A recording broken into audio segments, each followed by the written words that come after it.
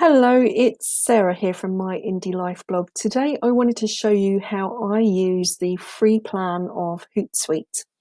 I use this as a social media scheduler and it helps me keep up to date not only with the posts that I'm scheduling, but also with the content that I have live on each of my social networks. And also it allows me to do one extra thing called social listening. So it's a great tool. It is free to a certain extent. Um, there are quite a few, obviously, um, bits and bobs on their tools and analytics and that kind of thing that you cannot access with the free plan. But it certainly gives you a good introduction as to what you can do with Hootsuite. And so then when you're ready to move on to the paid version, you have a really clear idea of how it suits your business. So Usually when you start up with Hootsuite, what they will do is they will ask you to connect your social media networks.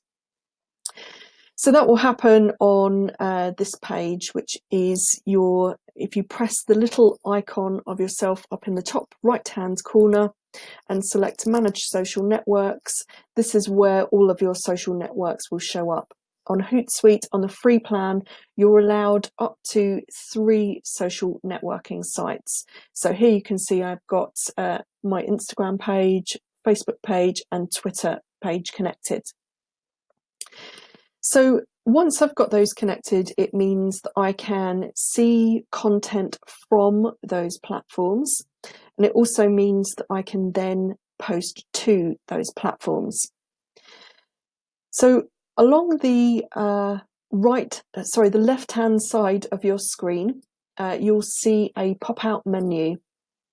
If you press streams, what Hootsuite will ask you to do is generate your first um, tab here.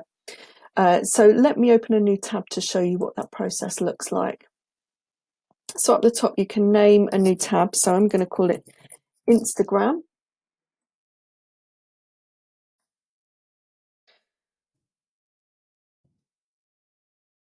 I could spell, wouldn't it? and what it does is it asks you to add the content that you would like. So I'm going to um, press this one, browse all streams. Then it will add what Hootsuite calls a stream. So that means a column of information that you can see certain things that you ask of Hootsuite to show you. So I'm going to select right here my Instagram page. And you'll see that it gives me a certain amount of um, information that I can pull up as a data feed. So I'm going to pull up my posts. And as that syncs, it will show you what I've recently posted. It will show you how many likes that got. It will also show you um, comments as well. So where there's been a comment, you can see that there um, more comments on this one. You can view the comments underneath and you can also reply to comments. So if I wanted to say at uh, my indie life, hello or something like that, then I can do that there and that will post that to Instagram for me. So it's quite a nice way of not being able to just schedule new content, but also to keep up with the content that you have active on your sites. So you're doing that all in one place rather than going in and individually signing in to each of those separate applications. Once you've set up your first stream, Hootsuite will ask you immediately to have a look at setting up a secondary stream. So on here, again, you can select which network you, what you would like, but as my tab that I created earlier suggests, this is my Instagram section of Hootsuite. So I want to add my scheduled content. Uh, again, you can see in this particular instance, I've already got something um, ready to go out on Instagram.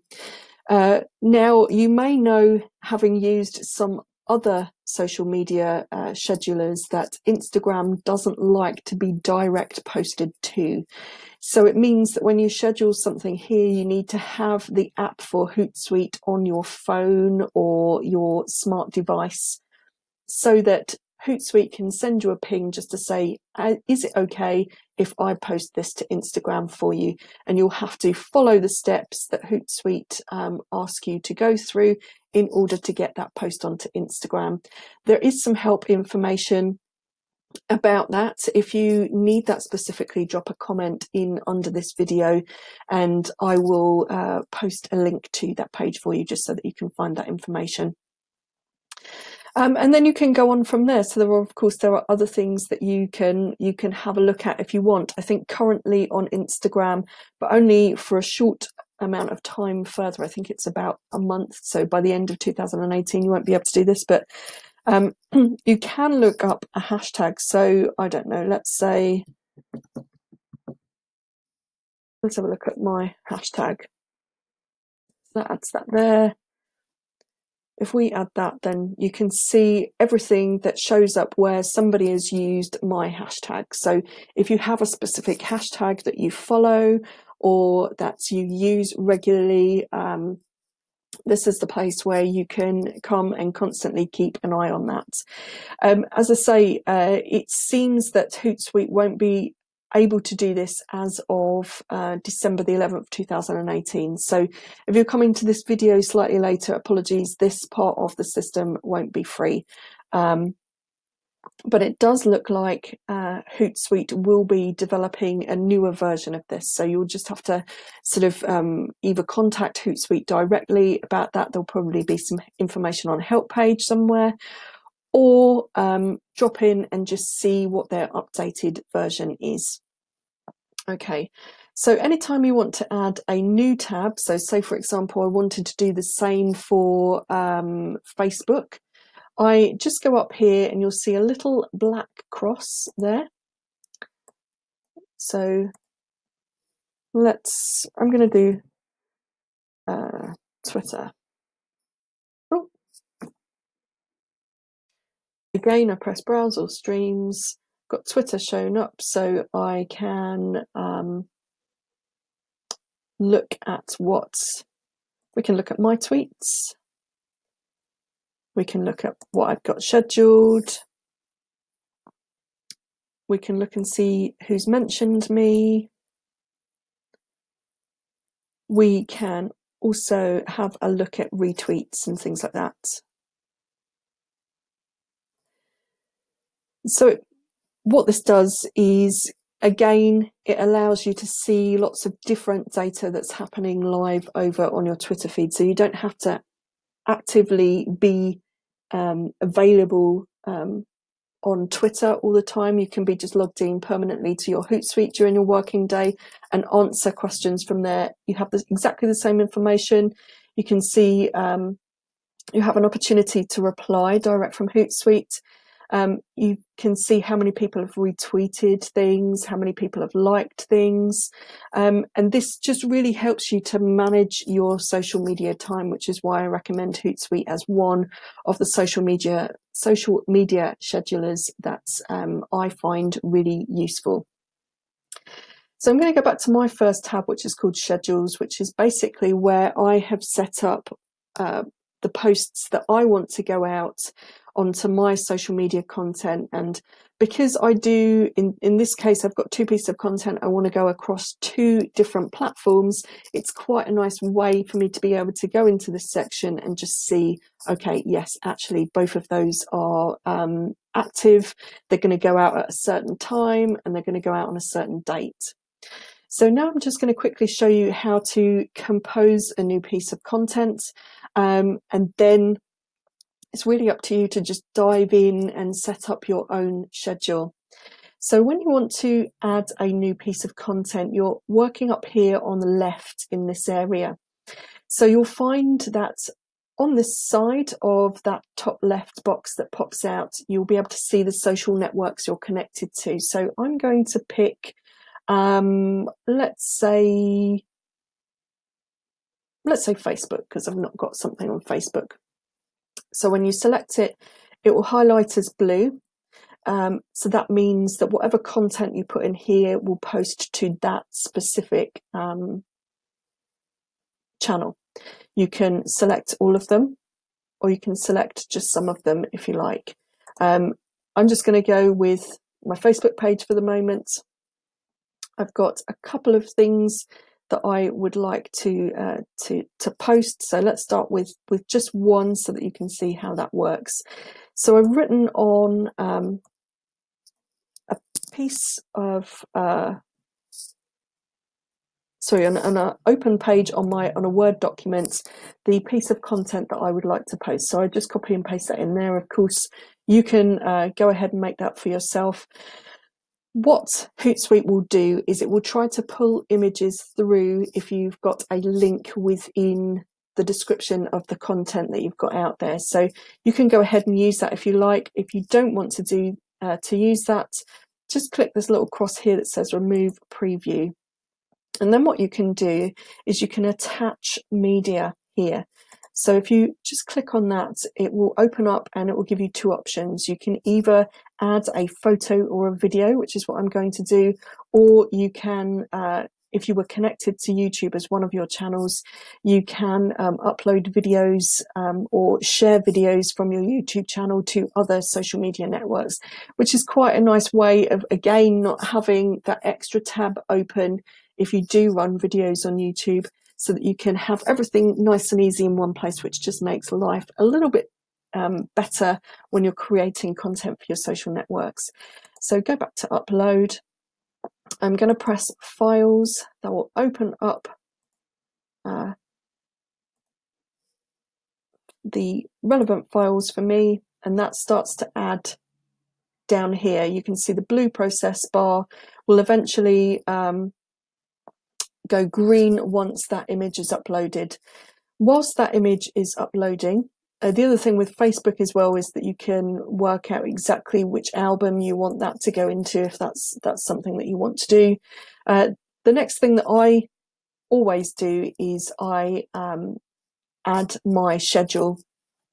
So I don't post moment to moment. What I do is I create a schedule and post in advance. That saves me lots of time and makes me much more productive when it comes to my social media content. When you open this part of Hootsuite, you'll see a number of different things. You'll see, first of all, particularly on the free account, you'll see how many messages you have available left to use. So Hootsuite will only allow you to post 30 or have 30 pieces of content in your schedule at any point in time. And that's across your network. So if, if I was posting this piece of content to all three networks, that would count as three separate messages um, in Hootsuite terms. Okay. So you can choose then to auto schedule, which at the moment is toggled off, but I can toggle that on. Um, if I'm doing that, uh, it's always best to press this little cog by the side there. And what will happen is that will open up your auto scheduling days. So you can decide uh, how many days of the week you would like your auto schedule to work on. So you can select all of them or some of them or just one of them. You can select how many times you would like this auto scheduler to post on your behalf per day. And you can also select the times as well that you want that schedule to work itself out on. Um, what happens is Hootsuite will then uh, work out the best times for you to post um, each day. And it works out that information based on an algorithm. Um, I'm I am not entirely sure whether it's related to your content or whether it's to, to their own specific um, sort of data that they've collected. But anyway, that's how auto scheduling work. I personally don't tend to use this because I find that for my audience, it tends to post out at times that aren't quite apt for my particular audience. But, you know, have a play around, work out what suits you and what's best for you. So if you do prefer to auto schedule, make sure you toggle that on and then all you have to do is press the blue button here, auto save if everything is okay, and that will save to your intended network and it will go out on the scheduled time uh, that is available next.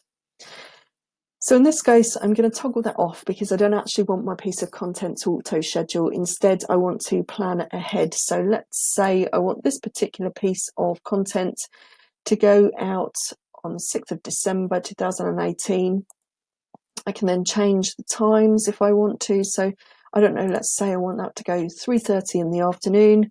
Uh, I can choose whether I want it to email me when it's sent. I generally don't tend to do that, particularly if you're scheduling lots of things. You don't want an abundance of emails that really aren't necessary.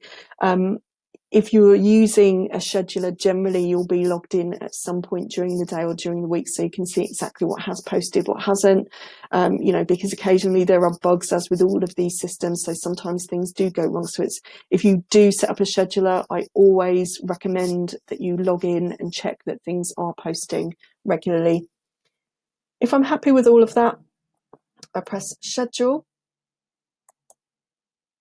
As that saves, you get a message up the top to say that that's been scheduled and after a while that will show up on your um, schedule there for the relevant channel and it will show that it is scheduled at the time on the date that you picked for it to go out.